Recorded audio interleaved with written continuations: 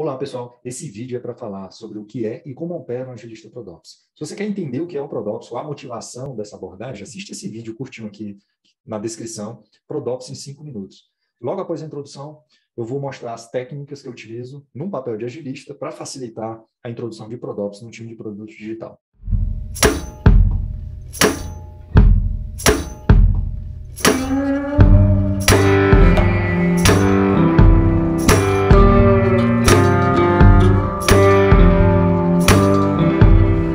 Você tenha assistido o vídeo introdutório onde eu explico a motivação que eu desenvolvi essa abordagem, mas esse vídeo especificamente é como um agilista vai proceder.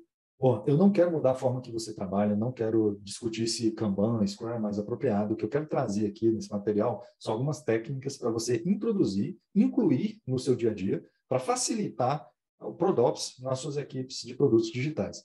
Então, a gente tem que perceber o que é está faltando, na verdade, para incluir na forma da sua abordagem, por, por que, é que acontece alguns problemas você não tem visibilidade? Bom, basicamente, um, um agilista ele trabalha de, de forma clássica, né, by the book, muito na, na, jornada de delivery. Então, todas as cerimônias, artefatos, todas as, as técnicas que ele utiliza são guiando a equipe ali, conduzindo a entrega. Se envolve um pouco no discovery, mas não é o responsável pela, pelas cerimônias, pelas as técnicas de discovery. Só que em toda equipe que eu chego, eu pergunto, em todos os papéis, quase nenhum sabe responder, mas principalmente no papel do agilista, qual é a feature mais importante? E geralmente existem vieses que provocam o agilista não saber responder de imediato qual é essa feature mais importante. E se você perguntar para outros membros da equipe, possivelmente a resposta vai ser diferente. E se você perguntar aos stakeholders, com certeza vai estar diferente. E esse é o início da causa do problema. Onde é que você está gastando energia? Onde é que você está tentando entregar valor? E muitas vezes o que você está tentando entregar de valor não é a expectativa das pessoas que você é, tem que ajustar um backlog, tem que ajustar a entrega. Segunda pergunta que eu faço é qual lead time for change, muito importante, lead time for change, essa métrica, daquela feature que você dedica por ser mais exclusiva e também quase nunca se consegue dizer, até porque varia muito da, de, de modelo para modelo. E por último, um número que a gente deveria se preocupar é qual o, qual o número que causa a indisponibilidade daquela feature? É uma pergunta aberta, um pouco abstrata mesmo. E para responder essas três perguntas, eu comecei a desenvolver alguns mecanismos ali ao longo do tempo, principalmente focando em descobrir qual é a feature mais importante dentro do, do dia a dia de uma equipe, principalmente quando o software está em produção. Se você parar para pensar, a jornada, o ciclo de vida do, do software é muito maior em operação, ou seja, quando o software entra em produção na primeira vez, teoricamente, a vida em operação, ou seja, em produção, com o cliente acessando, é muito maior e, muito, e deveria sempre ser muito mais importante do que todas as outras jornadas. E aí está o primeiro erro do agilista. Ele quase nunca, pela minha experiência nos últimos 20 anos, eu raramente vi um agilista se envolver na operação do produto onde ele conduz o delivery. E o que é muito ruim para o resultado final, porque isso impacta diretamente no próprio delivery e no próprio discovery. Depois que o produto vai para a produção, assim, todos os bugs, todas as indisponibilidades, aquilo voltam para a equipe, ocupando o tempo que fica confuso de medir, envolve a arquitetura, envolve a própria forma como está sendo entregue, a velocidade, enfim. E muitas vezes a gente não, muitas vezes não, quase nunca a gente olha para a operação, pensando em agilista. E quando você vai para a vida real, o Discovery sempre já está um pouco descasado ali no delivery, porque você tem que muitas vezes podar alguma coisa, seja em contexto ou em tempo, para fazer a entrega necessária e gerar valor. E quando vai para a operação, existe sempre um descolamento. O time está navegando numa velocidade, principalmente o agilista, achando que está tudo maravilhoso, e no lado da operação, para o cliente final, que é o que todo mundo diz que é importante, está um caos. E aquele caos sempre volta torto para as jornadas de discovery e delivery. Então, o que eu propus? Ao longo do tempo, eu vou colocando uma jornada contínua, onde eu trago o calor da operação para o time durante o delivery. A gente começa a trackear, fazer um track ali de tudo o que acontece e começa a fazer uma análise devolvendo para a jornada de discovery. Ou seja, eu preciso analisar o que é que está acontecendo na operação para voltar, aprender com isso e devolver para o backlog de forma dirigente, de forma que eu consiga fazer uma entrega realmente entendendo o que é está acontecendo no meu cliente e entregando e sendo mais assertivo. Então, é um modelo muito simples que funciona, seja com Scrum ou Kanban, não importa muito como você atua no dia a dia. em termos de consequência. Então, o que eu proponho é, vou usar, tomar como exemplo o Scrum, para facilitar o entendimento, mas você pode fazer os ajustes necessários para o Kanban. Mas no Scrum especificamente, você já tem ali o que antigamente a gente, a gente chamava de Grooming, e até por um, o termo caiu em desgaste em alguns países resolveram trocar esse nome para refinamento. Alguns discutem que aquilo já ainda está na jornada de Discovery, outros defendem que aquilo está na jornada de Delivery. Eu a, assumo que está na fronteira ali, mais ou menos, mas de qualquer forma, é uma primeira cerimônia que o agilista começa a puxar, onde você começa a fazer o aprendizado do que vai entrar realmente para ser construído e ser entregue. E aí você faz sua planning, faz sua daily, faz a entrega da sprint. Antigamente a gente tinha uma divisão, logo quando o Scrum surgiu, principalmente entre review e retrospectivo. Na maioria das vezes os times não têm uma forma muito eficiente de colocar software em produção, e isso praticamente virou uma coisa só. Dificilmente uma equipe hoje faz review e retrospectivo separado. E antes de tratar esse gap, se você assistiu o primeiro vídeo, eu falo que eu trago observability para frente do deploy. Deploy eu já trago para frente, observability eu trago antes. Porque quando eu for resolver esse gap aqui da, da entrega, eu já mapeei com eficiência o que eu preciso entregar.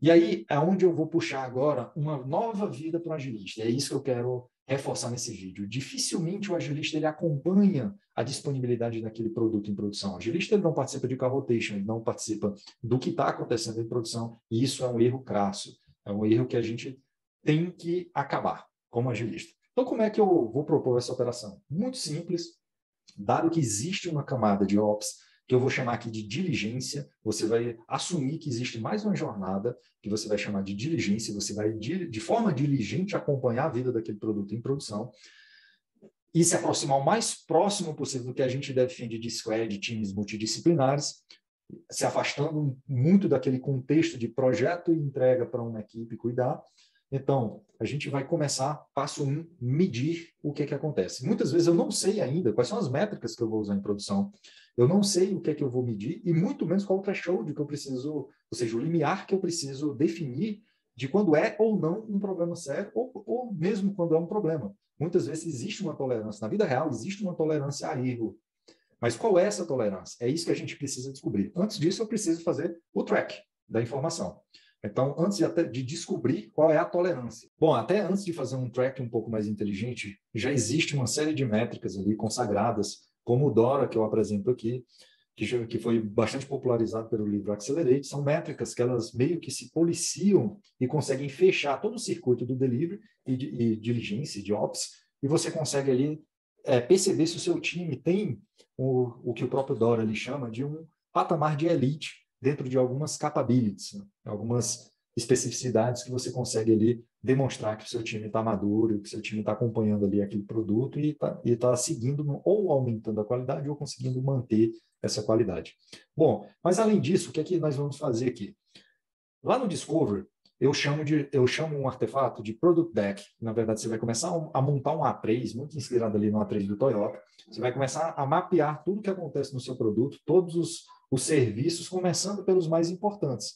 Então, existe um roteirinho que eu vou cobrir ao longo dos, dos vídeos aqui desse canal, mas hoje, para facilitar, eu vou mostrar uh, uma técnica bem simples para você já utilizar de cara aí no seu trabalho e, e dizer para mim aqui nos comentários, principalmente, se funcionou ou não.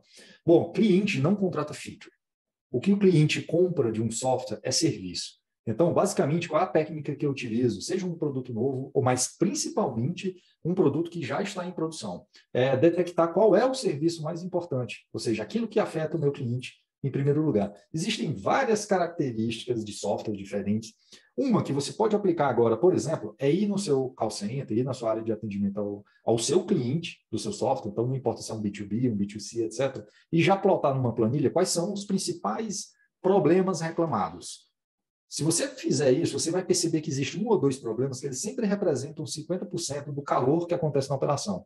Se você escolher esses caras para atacar, é uma das abordagens, existem várias, eu estou dando só um exemplo, de uma muito assertiva, que se você tem um software em produção e você fizer isso, você vai ser muito efetivo.